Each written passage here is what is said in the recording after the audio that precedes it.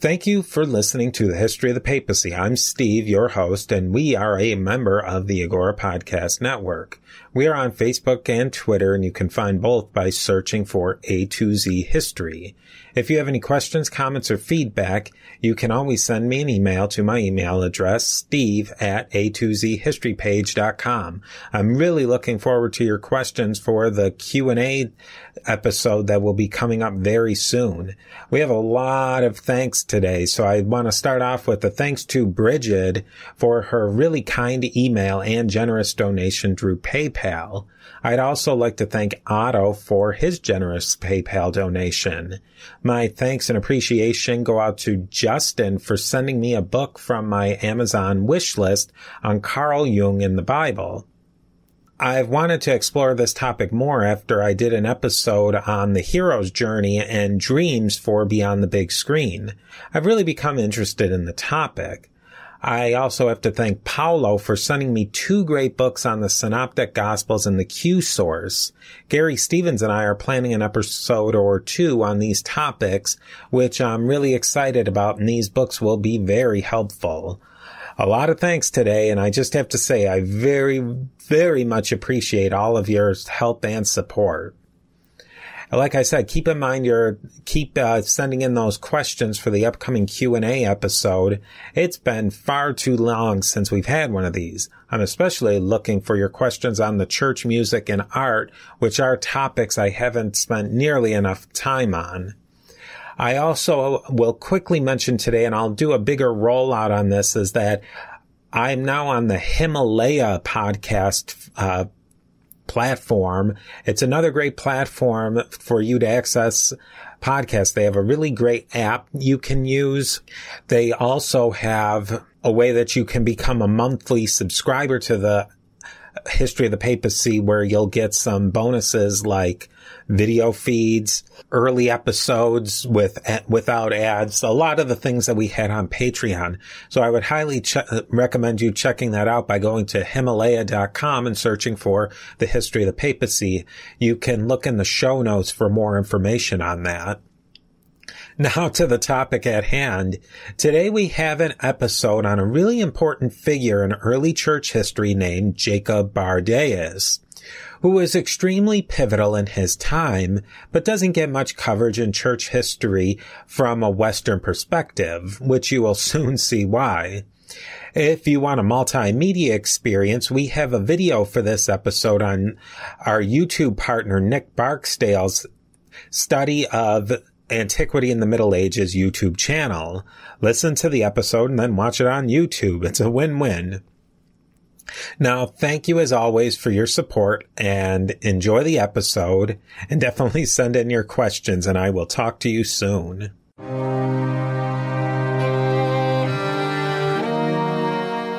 Welcome back. Today we're going to do another quick survey of what's going on and what was going on in other parts of the Christian world at that at the same time we're basically talking about in the era of the dark ages if you will all too often I have to skim over or entirely skip some really interesting bits of history of the church.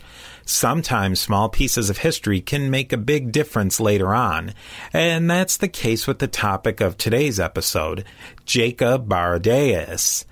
He is one such person who didn't quite fit into the narrative of previous episodes, but this humble monk who lived thousands of miles from Rome set off a series of events that would make an enormous difference after his times we will look at the life of Jacob Baradaeus and why he was so important not only to the history of Christianity, but also the popes of Rome. Let's talk a little bit about the background and context of Jacob's life. He was born sometime in the late 400s or early 500s in the area of south central Turkey near the border with modern day Syria. The place went by the name of Constantia or Tal Malzalt, which is modern day Viranşehir, Turkey. The difference in place names is going to be important here. We're talking about a Greek Roman idea versus Syriac. Now, Jacob was born to a Syriac family. He was the son of a priest uh, named Theophilus Bar Manu. The name, his name would have been Jacob Bar Theophilus or Jacopos bar Theophilus. In Syriac, he was known as more Yakub Bardo Ono.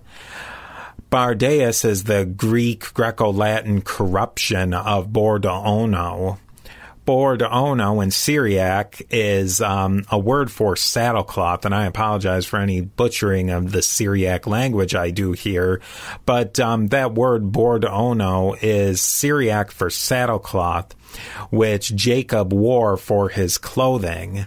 Now, a saddle cloth, for you um, not in the know, is a rough, heavy garment that sits under the saddle. This was definitely not a high status, fashion garment by any stretch of the imagination. It was the garment of an ascetic monk. The name meant to convey the idea of Jake, something like Jacob the Poor. Now let's talk about Syriacs and Greeks, or Syriacs and Greco Romans. This area of southern Turkey, Syria, had um, an influence, was heavily influenced by the native Syriacs along with the Greeks and Roman culture. Syriacs are a distinct group. They are a distinct culture from Arabs, Greeks, and Romans. They had their own language, Syriac, which is a branch of the Semitic languages. Uh, think related languages like Arabic, Hebrew, Coptic, etc and was a, a, descendant of the Aramaic language, the language of Jesus. At one time, these Aramaic and Syriac languages were the lingua franca of the Middle East and beyond. Most Syriacs were Monophysite Christians at this time. Late in the 400s, early 500s, the Christians of the Roman Empire split into these two camps, the Monophysites and the Chalcedonians. There was another camp, the Nestorians, but we'll get into them in a moment. This is a very long story, but I'll cut it short with a few key details. There was an important council in the Asia Minor city of Chalcedon in 451. Mainstream Roman imperial Christianity broke into two groups. Like I said, there was a third group, the Nestorians, but they had broken off at a previous council, the Council of Ephesus in 431. The Monophysites believed that Jesus had one nature, a united human and divine nature, and they rejected the formulation of Chalcedon. Now, the other group the Diophysites or Diophysites, more commonly called Chalcedonians, they believe that Jesus had two separate but indivisible natures. He is both entirely human and entirely divine. These groups, the Diophysites, accepted the formulation of the Council of Chalcedon, so you can see why they got this name, Chalcedonians both the Monophysites and Chalcedonians rejected two important ideas that were floating around at that time. They both rejected something called Eutychianism. And this is a belief where Jesus had one divine nature that completely subsumed or cast over his human nature. Another idea was Nestorianism, which basically said that Jesus had two divided natures, one human and one divine. Nestorianism was popular in and around the area of the Middle East where Jacob Baradaeus lived and preached. The difference between Nestorian, Chalcedonian, Monophysite, Eutychian were all very slim. And really, they used a lot of very detailed philosophical and theological and Aristotelian and Platonic arguments and semantical differences. I mean, generally, for us, they're minute differences, but obviously there are huge difference when you get down to the nitty gritty, especially in this theological debate, which would turn into a political debate. Here's the general geographic fault lines for these Monophysites and Chalcedonians. There was a fair amount of overlap, but we can say these pretty safely in broad strokes. Egypt, for we can start there, was almost entirely Monophysite, especially among the people. There would be some in the higher ranks, especially amongst the Greco Romans, who would maintain the Chalcedonian formulation, but overall, Egypt, Monophysite. Western Europe and North Africa were almost entirely Chalcedonian, with the exception of North Africa that had a sprinkling of Arian Christians along with Spain with the sprinkling of Arians. The that was more of the issue in the Western Empire, but they had very little or nothing to do with these arguments. The area around Constantinople in Eastern Europe Thrace, etc., were fairly solidly Chalcedonian, with Constantinople having some Monophysites in it. Now, the Middle East, think modern day Israel, Palestine, Syria, Eastern Turkey, the Levant, and the northern bit of Saudi Arabia was a mixed Chalcedonian and Monophysite area. Your Greeks and Romans were predominantly Chalcedonians, where the Syriacs and the Arabs were predominantly Monophysites. And with the sprinkling, I should say, of other groups like the Arians and the Subordinationists and just about any other group you could think of were in there, but we're still going to focus in on this Chalcedonian Monophysite division, with the exception that Mesopotamia, the area of more or less modern day Iraq, was Nestorian and Monophysite. Nestorians more so, more heavily concentrated in the east into Persia, whereas the Monophysites were more to the west. But there was a mixture throughout. There was some Monophysites in Persia as well, even though the Nestorian ideal would catch on more in Persia.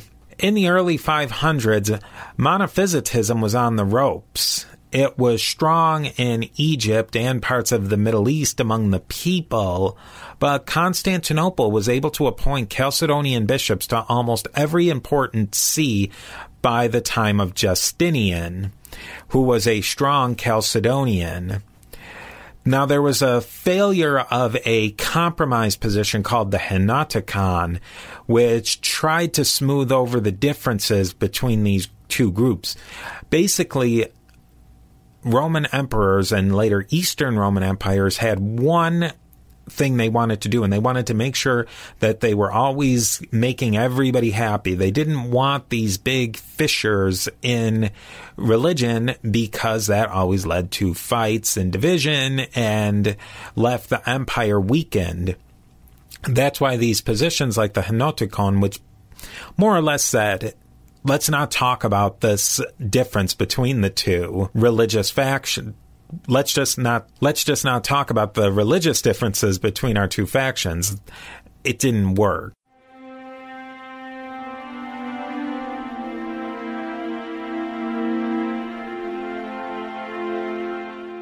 Jacob Baradaeus comes back in the story when he was given over to a nearby monastery near his home uh, for a young at a young age.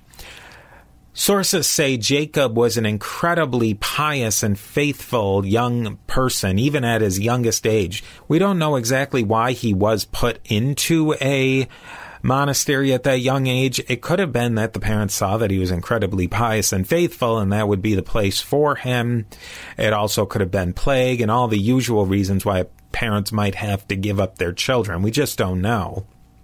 We do know that he was a great student and he mastered both Syriac and the Greek language. And that put him into a really good position to effectively argue the major theological controversies of the time, having a foot in both of those intellectual traditions and linguistic traditions.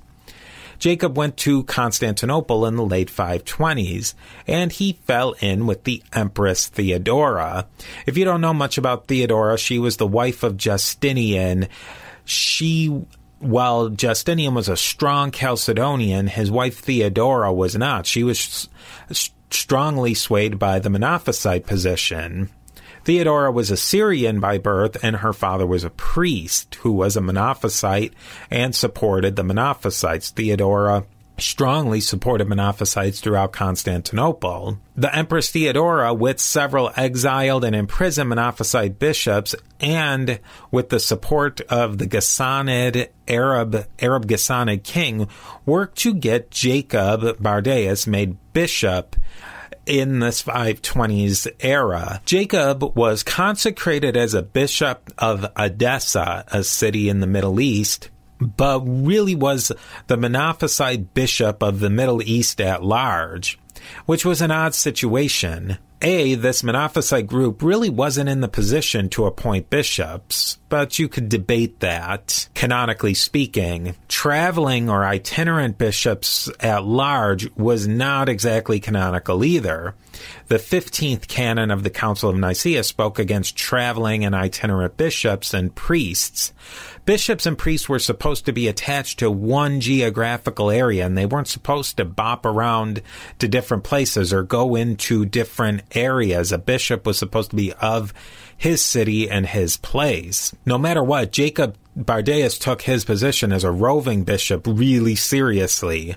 Accounts have him crisscrossing all over the Middle East and even into the islands of the Mediterranean even if we account for some exaggeration, these are some serious travels here.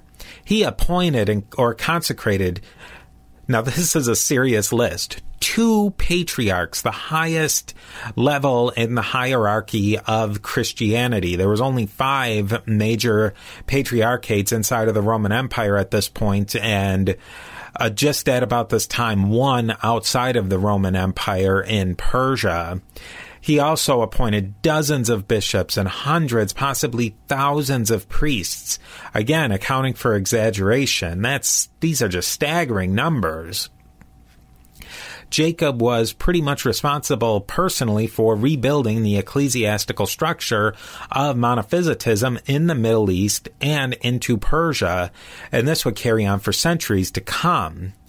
Now, to wrap up Jacob's life, he died en route to meet with Coptic leaders in the 578 ish uh, time period. He died of a sickness going through the Holy Land in a monastery at the monastery of Romanus or Cassian near the modern day city of Gaza on the Mediterranean, and he was on his way to solidify the relations between Syrian and Coptic Egyptian Monophysites.